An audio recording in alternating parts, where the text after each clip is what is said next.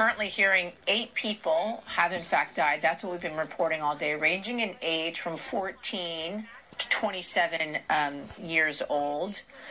About 50,000 people were attending this event um, yesterday evening when the stampede actually occurred towards uh, the stage. The mayor of Houston, Sylvester Turner, telling us 13 are currently hospitalized and being treated for their injuries that were incurred during that stampede.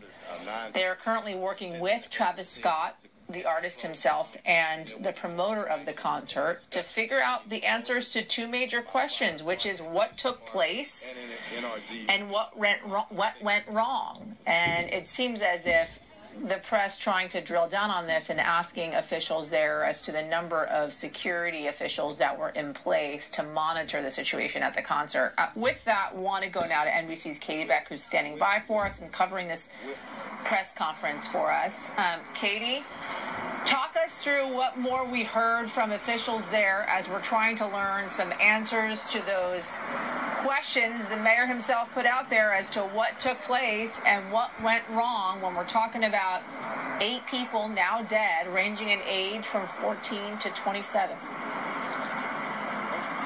Well, I think the message was clear that they want to do an independent investigation. They want this to be a thorough review of all the site and security plans that were put forth before this event and see if they missed something, if there's a possibility that this should have been more secure, should have been more thought out, that security wasn't properly in place where it should have been.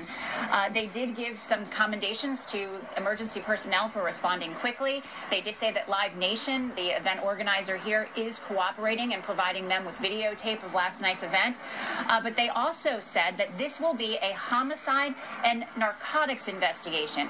That was a key point we had not yeah. heard before this press conference. And, and the reason for that, that they said, was because of a security guard who evidently uh, was injected with something in his neck and went down unconscious at the concert, uh, was later given Narcan and revived. So that was an interesting detail that we hadn't yet heard uh, before now.